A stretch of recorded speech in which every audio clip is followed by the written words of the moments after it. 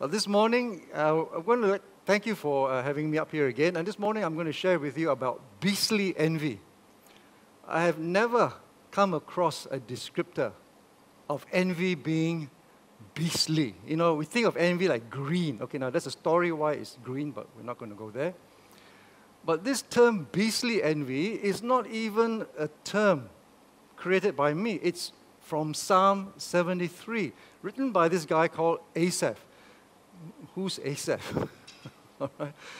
Until I read Psalm 73, I didn't know who Asaph was. Okay, now he is, uh, we'll, we'll talk about him in a moment. But here's a man who went through and experienced envy in its most horrible form. All right, and he got through it and he wrote a psalm in retrospect to reflect on it so that now when he did when he wrote the psalm I don't think he realized that one day it would be put into the Bible and that it would be read thousands of years later and it would be kept being read until Jesus Christ comes back. But I'm thankful that it is in the Bible because it gives us a story of a human being, just like you and me. You know, if I could get a time machine, I go back and I get Asaph and bring him back here, put him into singlets and the shorts and his Japanese flip flops, take him to a kopitiam and give him a bit of CKT, have some coffee, and we chat. I think we would just click like that from the human point of view that this is just a human being like you and I are, prone to all kinds of human emotions. Right? And so this is his story. Oh, that was quick. All right. Asaph was from the tribe of Levi. So, a very important person, the, the Levites from the tribes of Israel, they were the ones chosen to be priests to the people. They were to be standing in between God and the Jews. They, they got the messages from God, gave it to the Jews, and they took the sins of the Jews and presented sacrifices to God on behalf of the Jews. A very important role, a very critical role where they were highly visible, all right, and the people knew who they were. So there was an expectation on the part of the people that the priests, the Levites, would be oh, playing, would be a people who were really uh, upright before the Lord.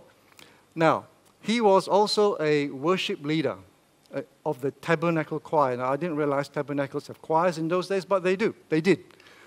Okay, so, and here is the descriptor. He appointed some of the Levites to minister before the ark of the Lord to extol, thank, and praise the Lord, the God of Israel.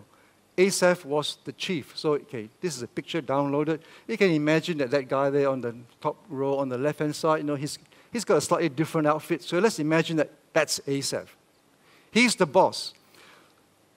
Now, those of you who, who, who are bosses in some way or leaders in some way, you know that you impact the people that you're responsible for, your staff, okay, your employees. They look to you to lead them, they look to you for an exemplar of good behavior. Obviously, they do. So Asaph is in a position, and you must remember this, okay, because this comes into play later on in my message. He had influence over all those people there. The way he lived his life would impact upon them. They would see for themselves the leadership that they expect of a man of God, a Levite priest. He was also a seer and prophet. King Hezekiah and his officials ordered the Levites to praise the Lord with the words of David and of Asaph the seer. So he was also responsible for proclaiming God's word. You know, okay, the local preacher, you might say. So you can see that this guy played a very important role. So let's look at Asaph and what he writes in Psalm 73. He makes a statement which sets the foundation, it sets the scene. God is good. Anytime that we come to relate with God, we need to have a fundamental foundation. God is good. Do things ever happen to you in your life where you say, God is mean? How come God this, this, does this to me? How come God? How come God? All right? You must have that straight foundation straight away. God is good. And then you look at things differently. But so Asaph says, God is good to Israel. Okay, God is good. It's good to the whole nation. Then he makes an abrupt confession. He says, But as for me, my feet had almost slipped. I had nearly lost my foothold. And this, I believe, that he's regarding, so the one in the brackets are my thoughts, is regarding purity. Because he has just written about God is good to those who are pure in heart. And then immediately he says, But my feet almost slipped. So I think the connection is there with his purity before God. And that was a critical issue because of his position as a Levite. Okay, so here's a confession. And isn't this a gutsy thing? You know, this guy, he writes a confession. He doesn't mind.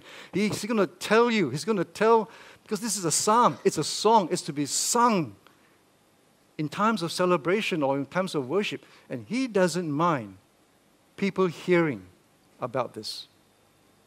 He wants you to know that he almost slipped. Why?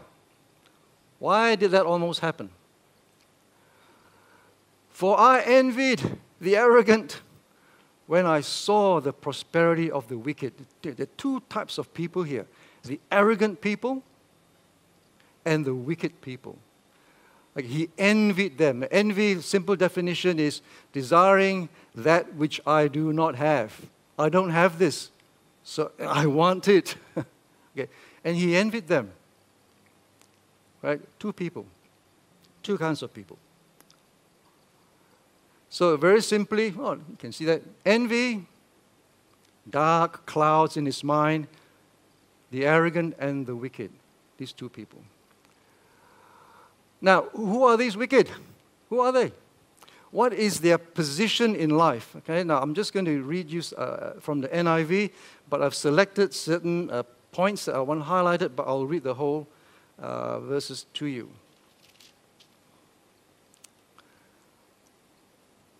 They have no struggles.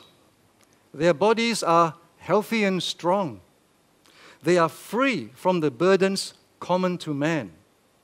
They are not plagued by human ills Right? Therefore, pride is their necklace. They clothe themselves with violence. Now, these are the, who the wicked are. This is their position in life. Life is really good for these people who are wicked. Now, Asaph is seeing this as he does his duties as the choir leader of the tabernacle. Okay? What, what is the response to the life? Now, these wicked, they have a life that is good. There is nothing wrong with having life that is good. Okay, now, please don't get me wrong. Okay, so, so, so if you're well off, oh, you know, I, oh, I shouldn't be well off. No, I'm not saying that. If you are good at business and God has blessed you with the ability to do business and make money, go for it. Right? It is not that you are prosperous it is what you do with it, it is your response to that. Okay? From their callous hearts comes iniquity. Now, this is the NIV translation, but the, the Hebrew actually says that their eyes swell through fatness okay, and, the evil conceits no, no, no limits. What it's saying is that even though they have so much, their eyes look and want more. It's like, what, what do we say here? Your eyes are bigger than your stomach when it comes to food, that kind of thing. Okay? And it's a similar case. These people, they see, they want more, more and more. It is not sufficient for what they have and therefore they strive to get more. And it is striving in a manner which is not ethical, it is not a manner which is full of integrity in the way you make money. It is evil. They will stab you in the back, they will cheat you, they will do anything to accumulate their wealth. And they scoff and they speak with malice. In their arrogance, they threaten oppression. Their dealings with people are such that they will oppress other people. They are going to make life difficult for other people in order to get what it is that they want. Totally unethical, or no conscience whatsoever. You know, these people, when the Bible says that we were created in the image of God, you know, and that God gives us a godlike conscience, uh, uh, these people look like they are totally devoid of the conscience. They've killed the conscience of God in their lives. And their mouths lay claim to heaven, and their tongues take possession of the earth. All right, I'll, I won't be too harsh on them here. When it says that their mouths lay claim to heaven, in the Hebrew, it doesn't mean that they claim to be like God. You know, they can behave like God. They are God-like. No. All it means is that they have the earth. You know, their, the influence is pervasive. Any place on the earth uh, that has wealth or has money, they lay claim to it. Wow, if they could, they would even say heaven belongs to us. The heavens belong to us. If they could, we claim the clouds, you know, we claim the rain, we, we claim everything. That is how much the arrogance is for these people.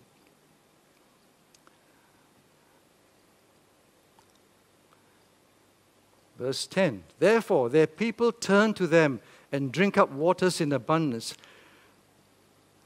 These people have followers. They have people who crowd around them, who, who want to take from them what they have to give. You might call them cronies. Okay? These are their followers. And no matter how evil these people are, the followers don't care. They don't see the evil. All they see is the. And that's it. And that's fine. Conscience doesn't matter. Okay? Human dignity doesn't matter. Just give me my share, and I will follow you. That's what these people are saying. All right? And they, they drink it up in the uh, verse they say they drink it up in abundance. These followers get lots and lots, enough to keep them from leaving these wicked and arrogant people. And this is what they say now the wicked and the arrogant, who, who are these people? Uh, let's, let's, Asaph is working in the uh, tabernacle. All right. There is some suggestion that these are some of his co workers of, of his same position, same ranking. So these are tabernacle or temple officials. They are arrogant. And then, of course, those are they are his fellow Jews, maybe not related to the temple, but they are very rich and they're very powerful people, high society people. Okay, so these are the people that he sees as he tries to do his job. And these people say, How would God know? I mean, this is their challenge. This is the challenge of the arrogant and the wicked. How would God know? Does the Most High know anything? Now, this is NIV, but other translations put it in a different way, some even stronger. Basically, they're saying, Does God really see what's going on? Can God see? That's another translation. Can God possibly know what's going on? That is so incredibly scary. You know, these are people, they are the Jews, they're supposed to be God's chosen people. They have a history of being delivered from Egypt. Their ancestors saw the you know, cloud of smoke, all right? pillar of fire. They see God's deliverance, and now they say, Does God really know anything? I find that incredible that anyone would dare to say that. But they did. So, this is a serious challenge. Does God really know what's going on? On the part of, of this arrogant and the wicked, uh, they don't think it's a serious challenge. Now, Asaph could be going on in his mind. Now, Asaph wrote this. He said that these people said that. So the fact that Asaph wrote this in reflection, uh, this is after the event, what was going on in his mind? Would his mind say, God, yeah, God, do you really know what's going on? How come these people can get away with what they're doing? Asaph, he responds and he says, This is what the wicked are like. Always carefree. they have a great life, always carefree, and they increase in wealth. Man, God, I want to be there. You know, I want to have some of that. Why not? Mm. okay. And then he says, Look at me, look at me, look at what's going on with me. Surely in vain. Oh, yeah, what's the point, lah? Surely in vain. Why bother? Okay. I have kept my heart pure. I haven't done any of these things that the arrogant and wicked have done. Okay. In vain, and he repeats again, in vain I have washed my hands in innocent. That means whatever he does is innocent, it's good, it doesn't hurt other people. He's trying to do what God wants him to do, he's trying to follow.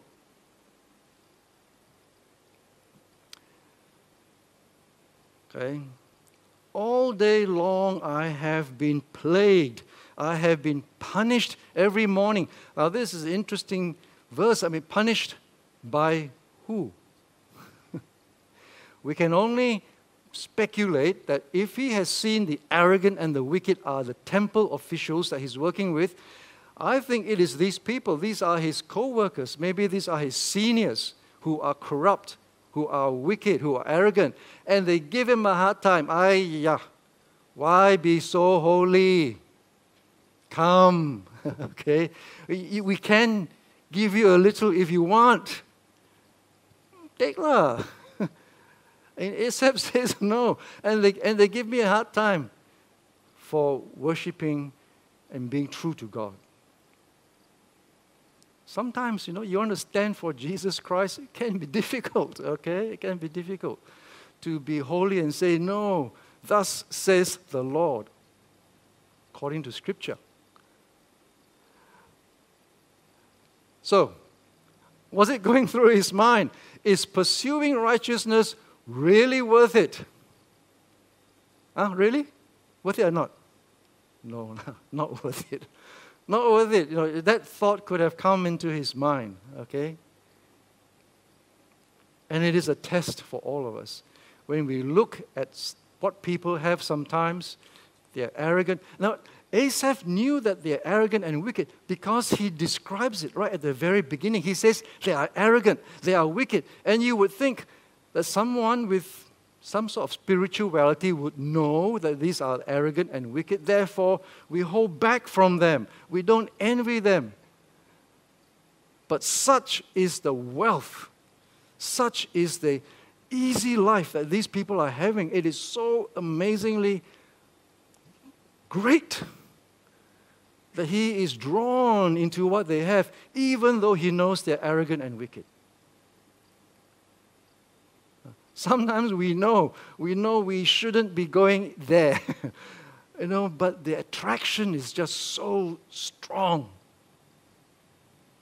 Hard to resist. Okay. And this is even the more difficult part for him despair to self, despair to others. If I had said, I will speak thus, I would have betrayed your children. When I tried to understand all this, it was oppressive to me. What's he saying here? He has enough spirituality left in him. He has enough to realize that in the state that he was in, in this state of envy, and it's like a beast, you know, it's tearing him up, it's ripping him apart he knows that if he opened his mouth to speak to his people, to his choir, to those that were under him, his employees, his team, whoever they are, and he said, I envy the wicked and the arrogant. Oh, I want what they have. You know, how come God doesn't give me these things?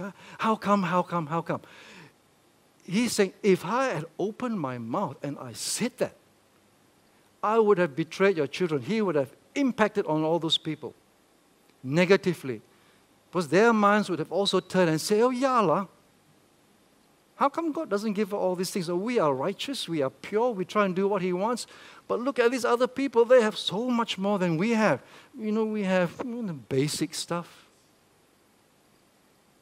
Leaders, it is so important that if you are going through difficult stages, and, we're human beings, we do, you have to be so careful. I'm not talking leaders, any, no, a leader is anyone who has influence over others. You don't have to have a title of leader or manager. The fact that you may have a very um, forceful personality, you might be a very assertive person, but people look up to you. You have no title in the church, let's say in the church, you know, but you, you, people look up to you for some reason or other. They respect you. You are a leader. If you are going through something like what Asaph did with envy, and you speak thus, and you let go, you will negatively impact your people. Be careful. And Asaph had enough sense to be careful to not open his mouth when he was going through this, this stage. You know, you know zip your lips, okay? Don't speak until you resolve this issue. And when he was trying to understand all this, it was very oppressive to him. He was trying to understand honesty, spirituality, faithfulness to God. Wicked people got so much more than me. He's trying, he's trying to work it out, you know, and there's a swirling in his brain. Not a good place to be. And then the light turns on, bing, okay? And this is the hinge of Psalm 73. This is where Psalm 73 turns. All right? There is to be a place that when you are confused, when you are in a place where it is just so difficult for you, there is a place where it turns. But whether it turns or not is totally up to you. Up to you. Till I entered the sanctuary of God, then I understood their destiny. There is a moment in time, till you have to choose a moment in time when you walk. You choose to do something. It's a moment in time. All right? Asaph could have continued in his envy for a month, a year, 10 years, and he would be torn and torn still, you know, by envy. He had to choose a moment in time when he said, Enough. And the choice is made. I entered. He had to make a choice. Life is full of choices, and this is a choice that you have to make. You can stew in, okay, let's look at the situation. You can stew in your envy, you can burn and suffer in it. And you choose to do that because you, it, it it's a funny thing. Yeah? Self pity, self anger, it, it's a self perpetuating thing. You know, I've been there. And it stirs in it, and you kind of like it. You know, you actually like it. It's like, oh, I, I like these feelings of anger. You know, I, I, I'm so angry about something. I'm so envious. And you just let it bubble away. And it becomes, has a life of its own. So, till I entered you make a choice. Where? The sanctuary of God. Well, for him, we don't know where the sanctuary is or was, whether he entered the temple or whether he just in his mind, in his heart, he just went before God in a quiet place, knelt down and said, God, I need some answers here. I need some help desperately. Okay? You go to God don't go and ask your friend. Your friends can help you, yes, you know, they can give you advice. But you need to address, in our case, you go into the presence of Jesus Christ. You pray and say, I have these issues, Lord. It's burning me up, it's killing me, and I don't like it. Then the revelation comes. Then, then I understood. Pow, the light turns on. And from here, the whole situation is reversed. You will see that his mind just, he sees the perspective from God's point of view, not his point of view. And then he sees the consequences of the wicked. Okay? And he says, Surely you place them on slippery ground. You cast them down to ruin. How suddenly are they destroyed? Completely swept away by terrorists. They are like a dream. When one awakes, so when you arise, O Lord, you will despise them as fantasies. Okay. Look at how they, Asaph now sees the wicked. The wicked and the arrogant have a time. They have a period when they enjoy all these things. They have a period when they can shake their hand and says, "Does God know?" After Asaph has been in God's presence, he sees. God says, "These people will have their time." Now, it's interesting that he says here, as a dream when one awakes, so when you arise, O Lord. Now we know that God doesn't sleep as such. God is always aware of what's going on. I believe that Asaph wrote this to give the impression that God is allowing these people. So it is as if God's asleep, as if God doesn't know what's going on. But God does. But God is giving these people their moment in time, that little few years that they're going to have. And then when God executes judgment, it will be like these people never existed. They are like fantasies. So Asaph realizes, why am I being envious of these people? They are going to be gone. They're, they're, like, they're like shadows. Is it hard? Don't think so, because these people have shaken their hands at God. Is the judgment of God warranted? Yes. Okay.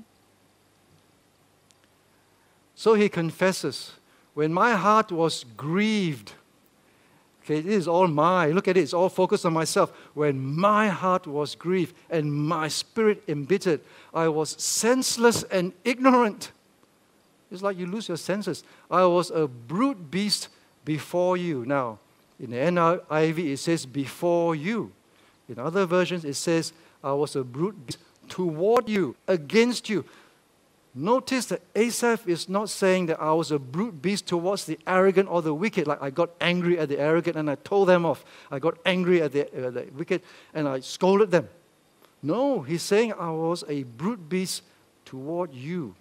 My behavior to you, God, was awful. So you know, we look at being a beast. In the Hebrew, the beast is just beast, animal, wild animal. So I looked up the dictionary and I said, okay, what does being a beast mean in our English language today? And these are some of the things that came up.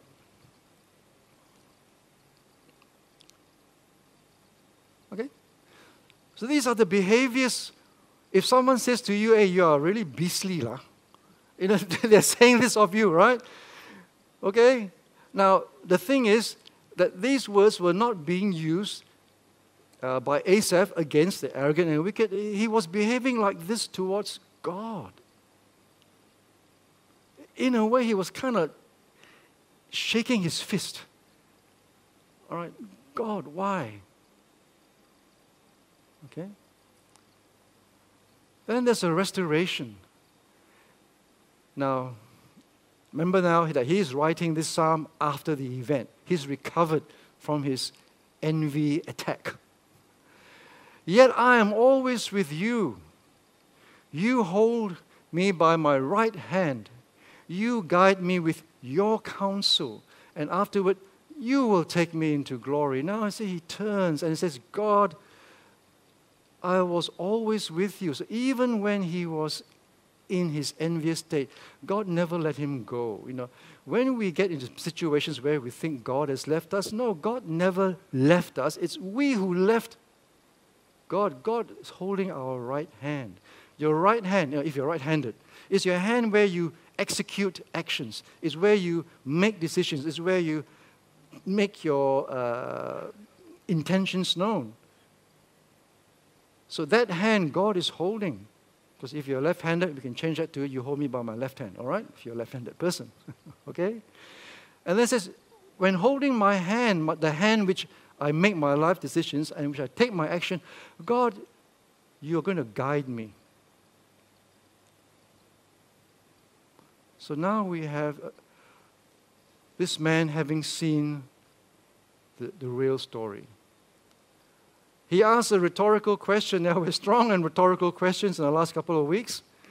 Whom have I in heaven but you? Of course, the answer is no one, uh, no one else but you, God. Whom have I in heaven but you? It's just making a point. You know, you are the only true God that really matters. Nothing in earth, uh, my flesh and my heart and fail, but you are my strength of my heart and my portion forever. That word portion, you know, you can reinterpret that in Hebrew as you are my inheritance forever. So, God, I am yours, but you are mine too. That relationship is established. Okay? Just to round up this message, how does it apply to us today? And I'm going to tell you that keeping righteousness is never in vain. All right? Pursue righteousness. You see, in 1 Corinthians, it says that, therefore, my dear brothers and sisters, stand firm. Let nothing move you. Always give yourselves fully to the work of the Lord because you know that your labor in the Lord is not in vain. I chose this particular text because it has to do with work. You know, Asaph's work as, as, the, as a seer, his work as the tabernacle leader, being faithful in his work, getting a hard time. And yet, Paul here says to the, to the Corinthians, don't give up. It's amazing that he says that to the Corinthian church because the Corinthian church were a they were a how to say a naughty church, you know. They were a church where they were not really concerned about worshiping God that much. They were more into celebrating, eating, drinking, suing one another. Right? But Paul says to them, brothers and sisters, now Paul is an amazing guy. I mean, the Corinthian church, like the Galatian church, okay, they were all over the place. They are not being what they should be. But Paul still calls them brothers and sisters. He loves them. You know, he, he loves his, the churches that he, he was involved with. So he's saying to them, don't give up. Keep on keeping on in your labor in the Lord. For those of you here in CLC, you know, uh, no matter who you are, you know, in the talk last night in the Galatians, I was saying that uh, some of the most important people in the church are the ushers. All right? I'm not saying that, that the chairman isn't important or the pastors aren't important, okay? Everyone that works here, you're important when you serve. Don't give up. It is not in vain. And then Paul finishes by saying, Well, I will finish by saying, I thank my God every time I remember you. In all my prayers for all of you, I always pray with you, I pray with joy because of your partnership in the gospel from the first day until now. And I want to focus on this being confident of this, that he who began a good work in you will carry it on to completion until the day of Jesus Christ. There is a work that is begun in you as a follower of Jesus Christ. The Holy Spirit is molding you, shaping you more and more into the image of Christ. Okay? And maybe part of that molding and that shaping could be painful. Okay, the, the image that's often used is, is a potter, you know, the potter makes the pot from a bowl, bowl of clay, and, and suddenly you get this amazing pot. It can be out of shape, so they, they whack it so it's out of shape, or it might have a bit too much clay, so they rip some clay out to make a perfect pot. And so in our lives, as we grow in Christ, some things need to be hit in place, some things need to be taken out. Could be painful. But we are being changed into the image of Jesus Christ. And in our service, along the way, as we, as we move along the way, old habits might come up. Some of these old habits might be envy. Envy might come knocking on the door of your heart. Let me in. Okay? Please don't. All right? And continue growing in Jesus Christ. So thank you for the, for the time this morning. And I hope we learn from the life of Asaph, for the courage of this man to realize at one point in time that even though he was afflicted, yet he knew that he had to go into the presence of God. Then the perspective changes. See life from God's perspective, not from your own.